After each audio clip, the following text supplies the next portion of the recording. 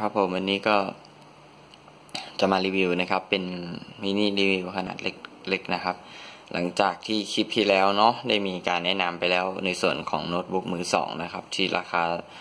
ใน rate ราคาไม่เกิน 10,000 บาทนะครับ ตัวไหนน่าเล่นตัวไหนไม่น่าเล่นนะครับแตกต่างตามการใช้งานนะ ตัวนี้ก็จะมาพูดถึงโน้ตบุ๊กมือมือหนึ่งกันบ้างนะครับ วันนี้ก็จะมาพูดถึงโน้ตบุ๊กสำหรับการใช้งานโดยทั่วไปรวมถึงหน่า มีประสิทธิภาพที่น่าสนใจนะครับ ในงบประมาณ 10,000 กลางๆนะครับหรือราวๆ15,000 บาท บวกลบประมาณนี้นะครับวันนี้ก็จะมารีวิวเป็นแนะนำเป็นตัว Acer นะครับนะครับ รหัสรุ่นของรุ่นนี้ก็จะเป็นเอเซอร์นะครับ เป็น E5 นะครับ 475G นะครับ 332Q นะครับ รหัสย่อยนะครับตัวนี้ดีไซน์ของตัวเครื่องก็จะออกมาเป็นแบบอย่างนี้อย่างที่เห็นนะครับ เป็นแบตเตอรี่ built-in นะครับ ภายในนะครับ ด้านล่างตัวเครื่องก็จะเป็น sink ระบายความร้อนนะครับ ตัวนี้นะครับแล้วด้านข้างนะครับพัดลมแล้วก็ตรงกลางนะครับ ก็มีช่องระบายอากาศที่ดูโอเคนะครับ ถือว่าน่าจะดีในระดับหนึ่งนะครับผิวตัวนี้เป็นสีเทาดำนะครับ สีเกรย์นะครับ ลายของตัวเส้นก็ผิวสัมผัสดูดีนะครับตัวเครื่องก็น่าจะเป็นพลาสติกนะครับ แต่ลักษณะการออกแบบของตัวเครื่องเอเซอร์ก็จะให้ลักษณะคล้ายๆกับเป็นลายผ้าไหมนะครับ ในวิดีโออาจจะไม่ได้ชัดมากนะครับ เพราะว่าจะเน้นรีวิวเพิ่มประสิทธิภาพมากกว่านะครับ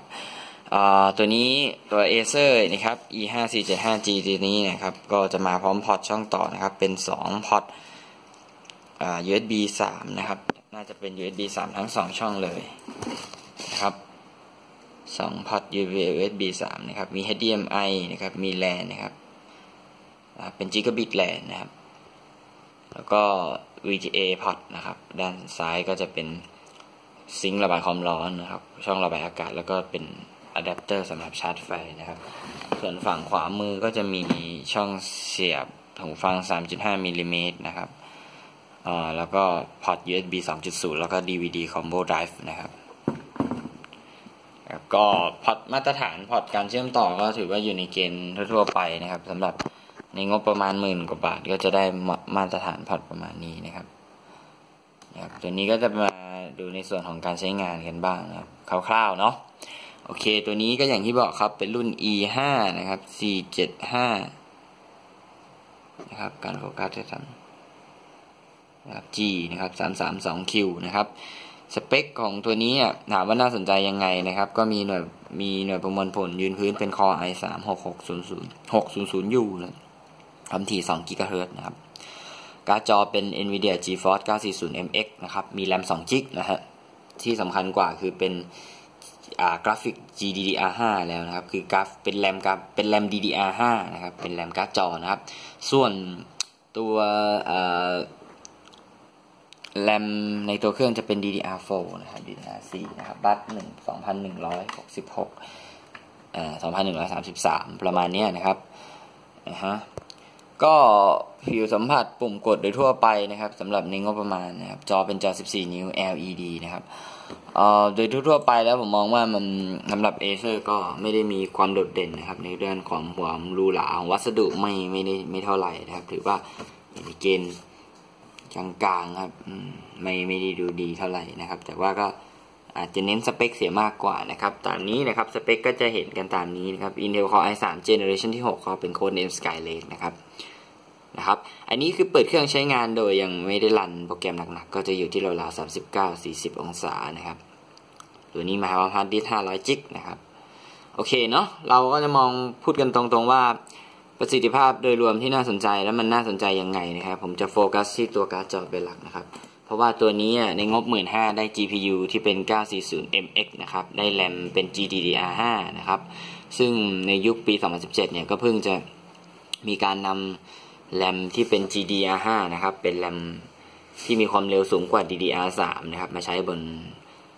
chipset บนแล็ปท็อปนะครับ ถือว่านะครับ แล้วประกอบกับตัวการ์ดจอนะครับ 940MX เนี่ยค่อนข้างที่จะแหล่งทีเดียวนะครับสำหรับการใช้งาน เล่นเกมออนไลน์นะครับ รวมถึงเกมออฟไลน์ในระดับ medium low เนี่ยถือว่าเล่นได้ลื่นทุกเกือบทุกเกมนะครับครับ ก็สำหรับการใช้งานทั่วไปสำหรับพอ i3 เนี่ยเราก็น่าจะทราบกันดีอยู่แล้วนะครับ ส่วนรหัสที่มันเป็นรหัส i3U นะครับก็คือมันจะเน้นประหยัดไฟนะครับ ดังนั้นผู้ที่จะซื้อโน้ตบุ๊กเนี่ยต้องมีความเข้าใจในระดับหนึ่งก่อนว่าโน้ตบุ๊กนะครับ Core i บนโน้ตบุ๊กกับ Core i บนแล็ปท็อปนะครับ ประสิทธิภาพต่างกันค่อนข้างมากนะครับ ไม่ได้พูดง่ายๆคือบนบน บนบน PC บนคอมตั้งโต๊ะนะครับ ภาษาชาวบ้านบนคอมตั้งโต๊ะเนี่ยคอมตั้งโต๊ะแรงกว่าเยอะนะครับ น่าจะเท่านึงได้เลยนะครับ ประสิทธิภาพตัวนี้นะครับโน้ตบุ๊ก i3U เนี่ยถ้าใช้งานจริง ๆ ก็จะอยู่ในระดับ Pentium นะครับบนบนคอมตั้งโต๊ะนะครับ แต่ว่ามันก็สามารถรันเกมทั่ว ๆ ไปนะครับ ทั้ง CSGO นะครับ FIFA ออนไลน์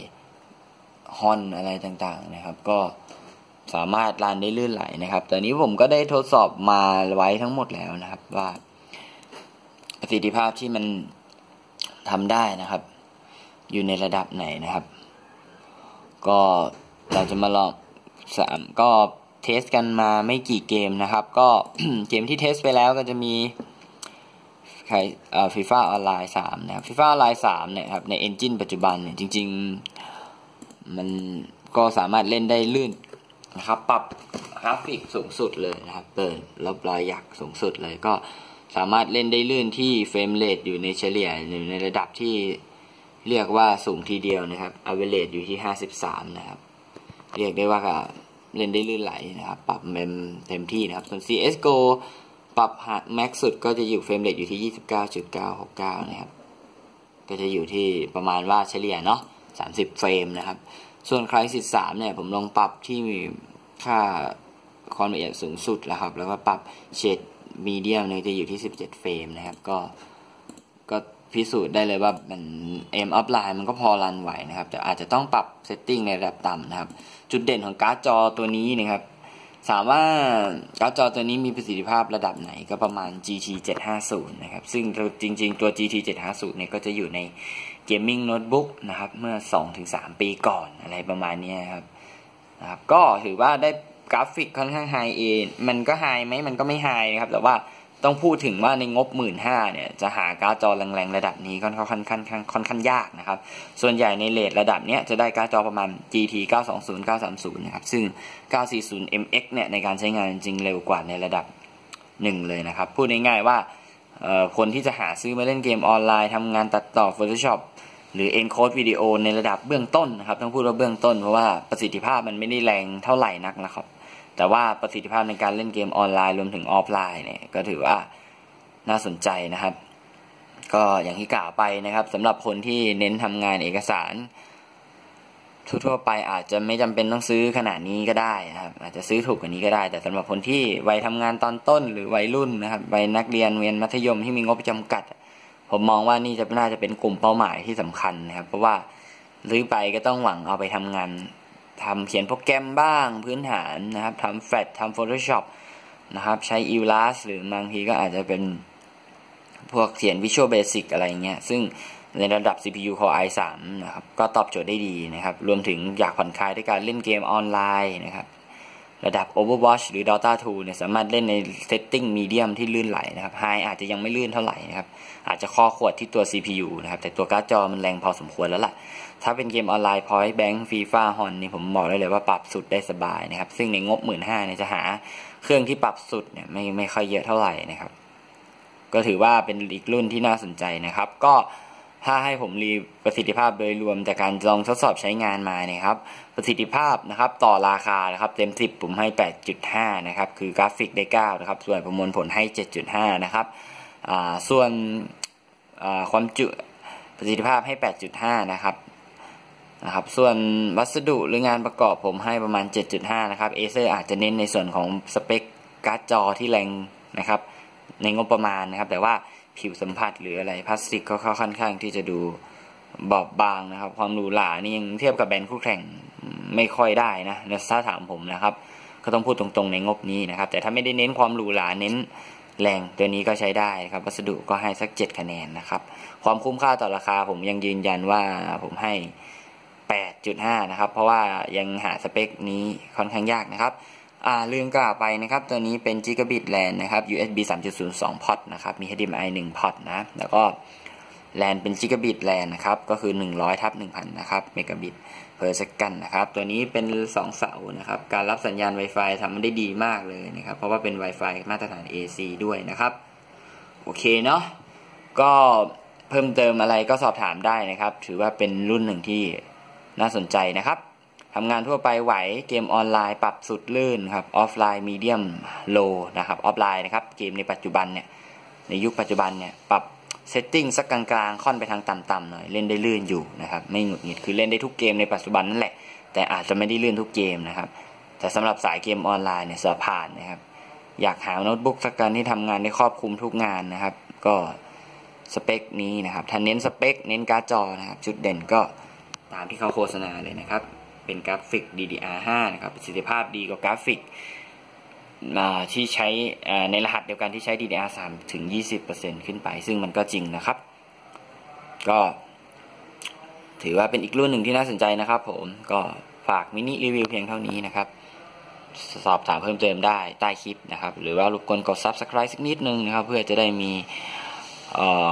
การอัปเดตทำอัปเดตแกจ g e t หรือรีวิวต่างๆนะครับ เพิ่มเติมภายหลังนะครับ ขอบคุณมากครับผม